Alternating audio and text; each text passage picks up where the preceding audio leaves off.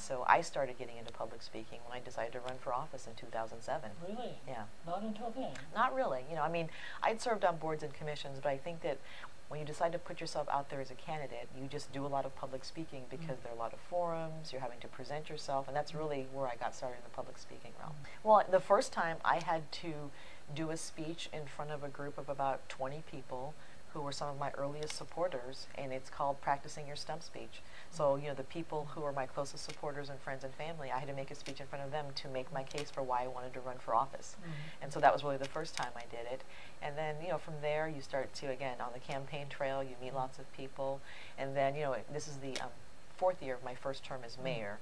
And as you may guess, I get a lot of requests for public speaking now. And so Yeah. it ranges from speaking to, you know, elementary school students, to college students, to large groups such as Rotary. Um, last night I spoke at the NAACP, one, NAACP 100th anniversary event. So, Mm. you know, you- those, those, those things start to roll in.